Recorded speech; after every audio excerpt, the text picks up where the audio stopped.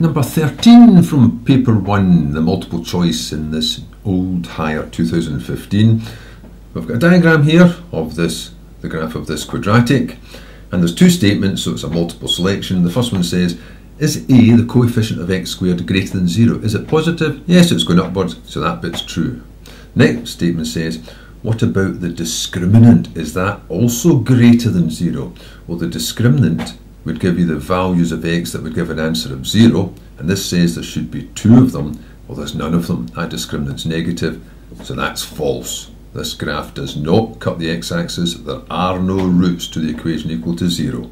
So I'm looking for one only. That would be a B.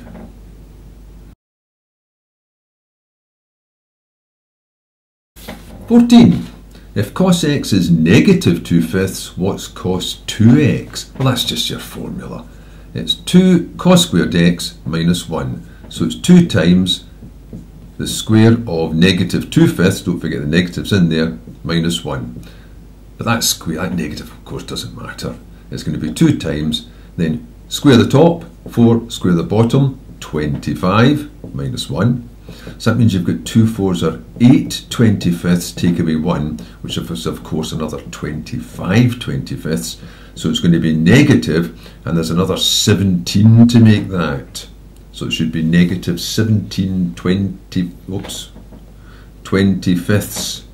And negative 17 25ths is D.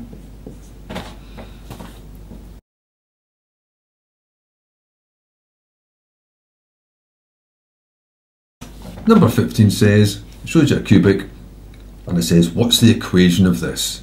Now, I suppose you could just do it by trying that. There's no point trying the zeros in, because they'll just give zeros. Trying the point 0, negative 3, putting 0 in and seeing which one gives you negative 3 as an answer.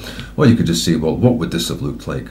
If it cuts at these three points, it would have had the factors x plus 2, x plus 1, and x minus 3 but there may have been some number at the front, some constant, some common factor.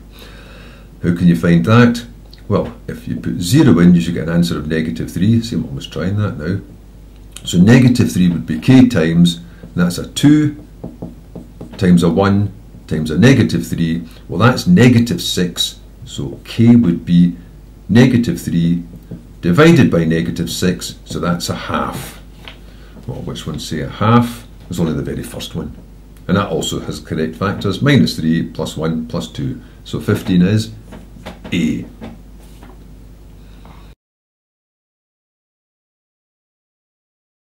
Sixteen. If e to the 4t is 6, what's t? Well, let's just get rid of that e first.